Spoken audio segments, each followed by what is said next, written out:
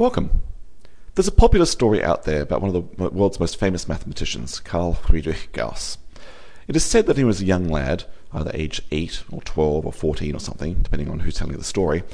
He was given a particularly uninspired math teacher one day who was not feeling like teaching and said, Okay, I'm going to read a good book and just keep the kids busy. I'm going to have them add the sums 1 plus 2 plus 3 all the way up to 100. So he started writing this on the board. And as he was scribing this on the board, apparently young Gauss said, Excuse me, sir, how high are you going? And the teacher said, I'm going to go all the way up to 100. In which case, said Gauss, the answer is 5,050, therefore foiling the teacher's plan of having a good day of just sitting back and reading. So the story usually goes that Gauss figured out a clever way of computing the sum, uh, usually this way. People say, let's give it a name, let's call it S for sum, say, and if you write the same sum backwards underneath, obviously it's going to be S again, plus 2 plus 1 would also be S, but if you sum these two together column-wise, you see 1 plus 100 is 101, another 2 plus 99 is another 101, 3 plus 99 is another 101. In fact, every column is going to be 101, and of course it has to equal S plus S, twice the sum we want. So how many 101s do we have? Well, 100. So 100 101s is twice the sum, so half of that must be the sum. That's 50 times 101, that's 50 50. Um, some people might say that Gauss actually came up with another method. He called the rainbow method, which is very popular. If you look at the first and last terms, they add up to 101. The second and second to last term add up to 101 again.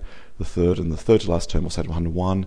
Um, you can do it that way. I get confused what happens in the middle. I personally don't have the hang of that one in my head. What I do have in my head is actually a different approach entirely, one I actually really like a lot. I tend to be a visual person. I guess I would have been a happy ancient Greek who liked figure numbers. I like dots and counting dots. So let me show how my brain works for getting the sum of the first, say, 100 numbers. But let me do a smaller picture first. Here's a picture of a 5 by 5 square. I claim it's a picture of the sum 1 plus 2 plus 3 plus 4 plus 5, looking like what I want, but going back down again 3 plus 2 plus 1. But if you look at the diagonals, here it is. There's 1, there's 2 dots, this diagonal makes 3 dots, this diagonal is 4 dots long, this diagonal is 5 dots long, four dots again, and we're going back down, three dots, two dots, one dot. So this sum is actually all the diagonals of a 5 by 5 square. It uses all 25 dots, so the answer must be 5 squared, 25. But the reason I like that, because I see the kind of sum I want in the first part.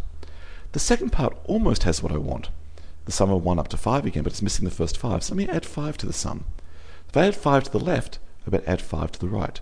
So now I see twice what I want is actually this, which means 1 plus 2 plus 3 plus 4 plus 5 is actually 5 squared plus 5 divided by 2. Well, let me go to the Gauss story. How does my mind do the Gauss story? Well, I think, I think the following. Well, let's think the sum up to 100, but then let's go back down again. That's 98, all the way back down to 3 plus 2 plus 1.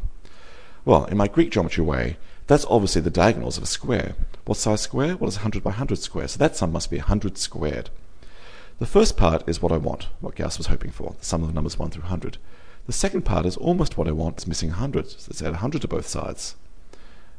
100 to the left, 100 to the right. Therefore, the sum I want must be half of this answer. 2. And I believe that that's exactly what we had before. In fact, I factor out 100 from the numerator, I see it's 100, leaves 100 behind, plus 1 behind, all over 2. Yep, it is indeed 100 times 101 over 2. In general, this approach is we'll give the answer to the sum in the title, sum of numbers 1 to n. Let's go from 1 up to n and back down again. That's n squared. The second half is almost a repeat of the first half, so I'm missing an n. Let's add an n to both sides. And then I get double what I want, so that sum must be n squared plus n over 2. That's how my brain works. I guess I'm a visual kind of guy. Thanks very much.